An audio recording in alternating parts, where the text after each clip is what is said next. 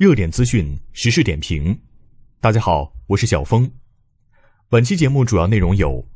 川普对台有大动作，此人严厉警告，战争一触即发；中美贸易持续火爆，川普兴奋之余，中国一招令其绝望；解放军军机近期频频绕台，台美日益提升双边关系。以及美国总统大选进入倒数二十多天，使两岸关系陷入震荡。据日媒产经新闻社十二日独家报道，称美国总统川普将承认台湾地位并突袭式访台，截止中国计划在一年内解放台湾，并透露中国大陆正设法运作防止川普连任。该报道称，川普正考虑闪电访问台湾和发表外交承认宣言，同时。美国方面也准备了由副总统彭斯或是国务卿蓬佩奥代替川普执行此一行动的替代方案。据了解，欧盟和美国的盟国们也都大致同意该方案。报道还表示，中国大陆的目的很明显，就是针对台湾以及钓鱼台而来，且收复台湾后还进一步计划收复钓鱼台及日本的冲绳县。报道更透露，白宫还公布了以下资讯：一。中国大陆摆出别和台湾走太近，再靠近台湾就不惜一战的态势，透过这种方式威胁美国，私下透过一些手段阻止川普连任。二，北京领导人认为，美国大选川普和拜登的竞争将导致美国陷入混乱，甚至产生权力的真空，而这时中国大陆将有机可乘，所以把发动武统台湾的 X Day 选在美国总统大选投票日前后。此外，路透社十三日报道，白宫正推进三项对台军售交易，并在近日向国会递交军售通知，等待国会批准。香港中评社十四日发表评论称，上月中旬，特朗普政府计划向台湾出售多达七种主要武器系统，包括水雷、巡航导弹及无人机。自二零一六年民进党重返执政迄今，美国已七次对台军售。总价约一百三十二点七四亿美元。美国对台军售曾受到一九八二年八一七公报的强有力限制。该公报规定，美国逐渐减少对台军售，直至最终解决。但美国背弃了这项承诺。特朗普政府更是肆无忌惮，不仅售台武器规模庞大，连攻击性武器也要卖了。评论称，美国对台售武一个巴掌拍不成，必是台湾主动求购或被动接受而购买的。都说台湾的安全在于处理好两岸关系，从根本上避免走向与大陆的军事对抗，以武拒统毫无胜算。最新的三项对台军售交易一旦落实，对台而言将是自己逼入一场面临与大陆冲突的极端，那将是台湾不可承受之重。外交部发言人赵立坚昨日称，中方敦促美方立即取消任何对台军售计划。充分认清美国售台武器问题的严重危害性，停止售台武器和美台军事联系。中方将根据形势发展作出正当必要回应。随着中美冲突愈演愈烈，连已经高龄九十七岁、见惯了国际政治大风浪的基辛格也坐不住了。新加坡联合早报八日报道，美国前国务卿基辛格说：“中美必须为两国日趋激烈的竞争建立规则。”否则，有可能重演第一次世界大战前全球政治的不确定性局面。基辛格说，两国必须要探讨超过哪个界限就不会再进一步威胁对方，然后他们必须找到在较长时间内落实这种政策的方法。如果用更直白的话说，就是中美要设定冲突边界，并且要想办法把冲突切实控制在边界内，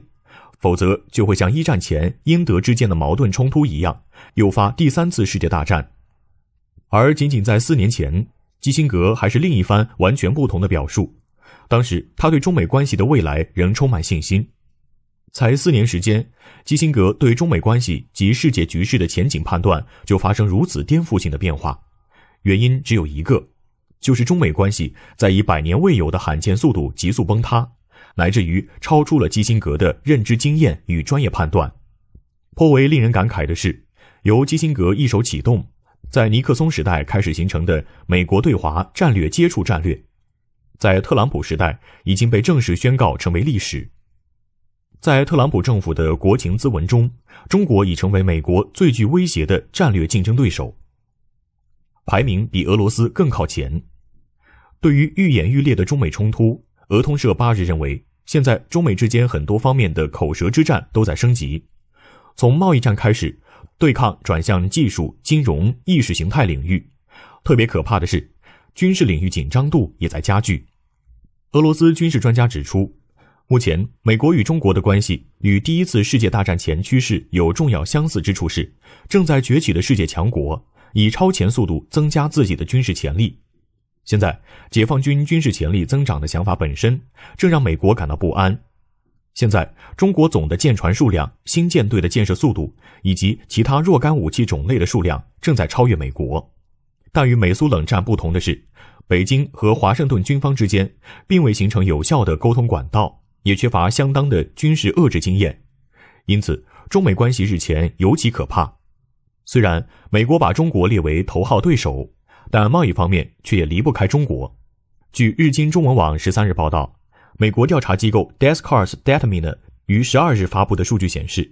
今年九月从亚洲地区发往美国的海上集装箱数量约达一百六十四点八万个，其中来自中国集装箱数量约达到一百零五点三万个。同比大增百分之十六点九。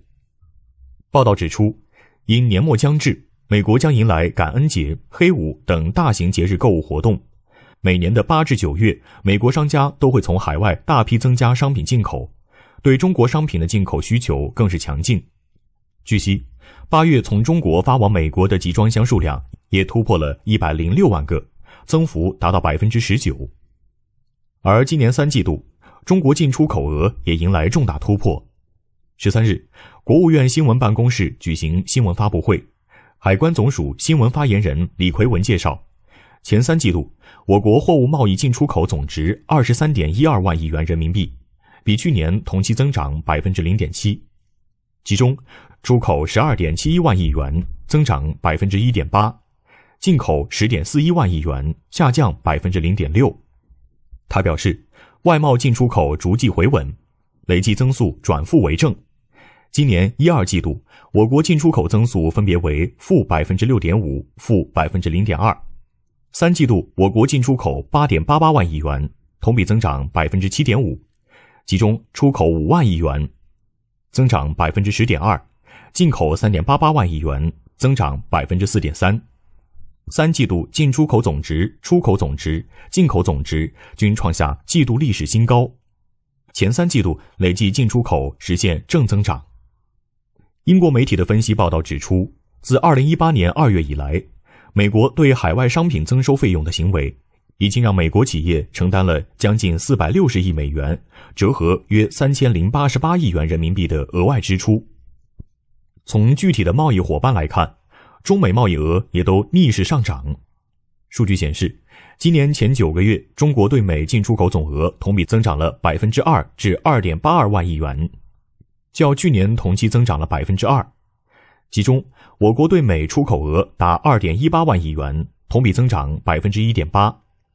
虽然不及对华贸易增长百分之七点七的东盟和增长百分之二点九的欧盟，但这也是非常亮眼的成绩了。而中国对美贸易额之所以逆势增长，跟中国大量采购美国农产品可能有很大的关系。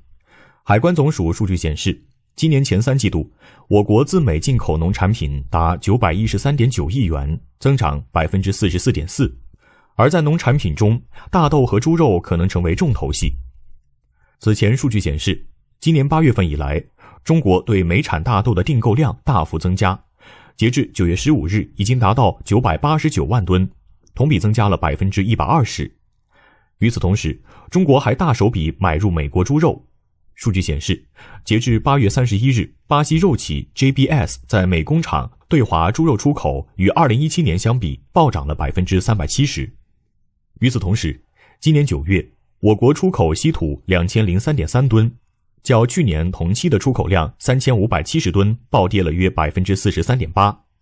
按照此前公布的数据折算来看，加上九月的两千零三点三吨，今年前九个月我国累计出口稀土两万六千零一十九点四吨。美国每年有百分之八十的稀土产品都需要从中国进口，因此，看到中国今年来的稀土出口量大幅减少，美国也在加紧行动，试图在稀土领域实现自给自足。据悉，美国认为生产电池和电子设备所需的三十五种关键稀土材料对国家安全和经济至关重要，但其中有十四种需要百分之一百从海外进口。九月三十日，美国重要代表人士发出命令，宣告该国的采矿业已处于紧急状态，接下来将在美国本土扩大稀土矿物的生产。然而，美国的想法很快就遭到业内人士泼冷水。总部设在爱尔兰矿业巨头的科技金属公司发出警告：美国想要赶超中国在稀土领域的绝对优势地位，可能还需要很多年。预计仅仅是开发稀土矿就需要将近十年的时间。